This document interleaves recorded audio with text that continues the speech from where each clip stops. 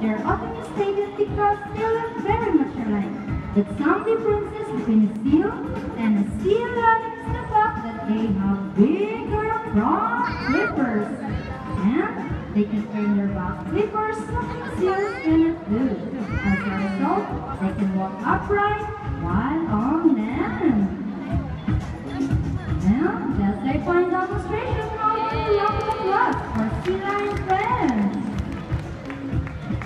We can see, their body, they also have this long and flexible neck.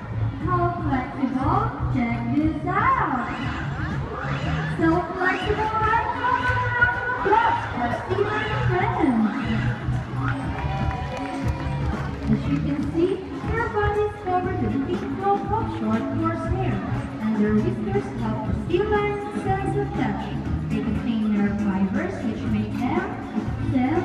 Nice smile. Hey. They also use their whiskers to or things like vibrations.